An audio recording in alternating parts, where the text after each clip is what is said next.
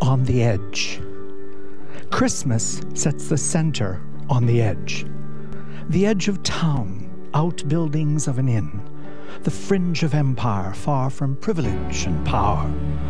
On the edge and outer spin of turning worlds, a margin of small stars that edge a galaxy itself, light years from some unguessed at cosmic origin. Christmas sets the center at the edge, and from this day, our world is realigned.